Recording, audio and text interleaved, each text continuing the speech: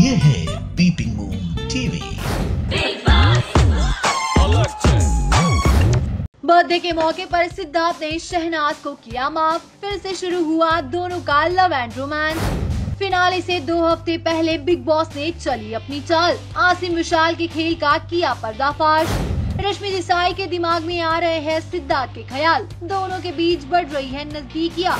घर में खेला गया नॉमिनेशन टास्क फिनाले से पहले मिले टॉप फोर कंटेस्टेंट तो चलिए एक नज़र डालिए बिग बॉस 13 के डे वन टू वन की चटपटी हाइलाइट्स पर। सलमान खान का सबसे पॉपुलर शो बिग बॉस का फिनाले होने में अब कुछ ही दिन बाकी है। ऐसे में घर में मौजूद सभी कंटेस्टेंट के बीच बिग बॉस का खिताब जीतने की होड़ भी लगी हुई है। दरअसल बिग बॉस सभी घर वालों से ये कहते हैं कि बिग बॉस का ये सीज़न अठारहवे हफ़्ते में पहुँच गया। तो ऐसे में ज़रूरी हो जाता है कि आप लोगों की इस हरकत पर भी पूर्ण विराम लगाया जाए। इसके बाद बिग बॉस घर में मौजूद टीवी पर विशाल और आसिम का एक वीडियो चलाकर दिखाते हैं, जिनमें वो दोनों नॉमिनेशन पर चर्चा करते हुए दिखाई दिए। जिसमें आसिम कहते हुए दिखाई दिए कि जब खेलेंगे तो एक दूसरे को टारगेट करने के लिए। इसके बाद विशाल कहते हैं कि माहिरा और पारस को फंसाना होगा।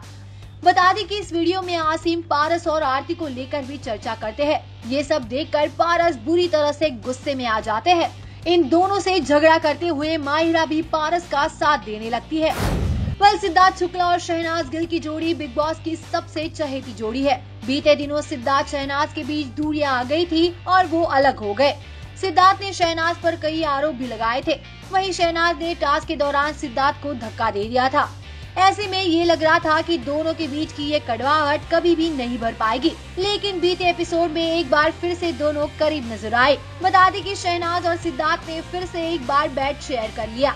इस दौरान सिद्धार्थ ने चेस टास्क को लेकर हुई गलत फहमी पर कहा कि मैं सबसे पहले तुम्हारा नाम आगे करना चाहता था, लेकिन तुम्हें चिढ़ाने के लिए मैंने पहले आरती का नाम आगे कर लिया।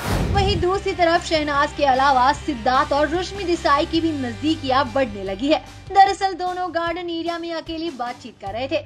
ऐसे में रश्मि सिद्धार्थ से कहती हुई नज़र आई कि वो उनके दिमाग में चल रहे रश्मि की ये बातें सुनकर सिद्धार्थ भी हैरान हो जाते हैं। वेल, ऐसे में लगता है कि ये कंटेस्टेंट अपनी दुश्मनी भुलाकर दोस्त बनना चाहते हैं। वेल, बिग बॉस अब अपने आखिरी पड़ाव पर पहुँच चुका है। बीते एपिसोड में फिर बिग बॉस ने सदस्यों को एक नॉमिनेशन टास्क दिया, जिसमें चार घर वाले इस हफ़्ते घर से बेघर होने के लिए नॉमिनेट हो गए।